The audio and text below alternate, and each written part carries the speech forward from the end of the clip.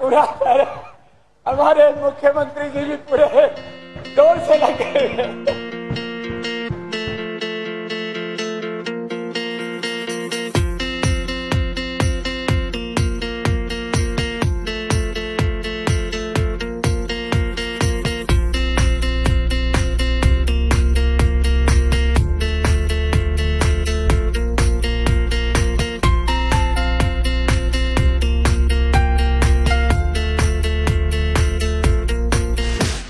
अब इसको हमारे मुख्यमंत्री जी कर ले तो ठीक है।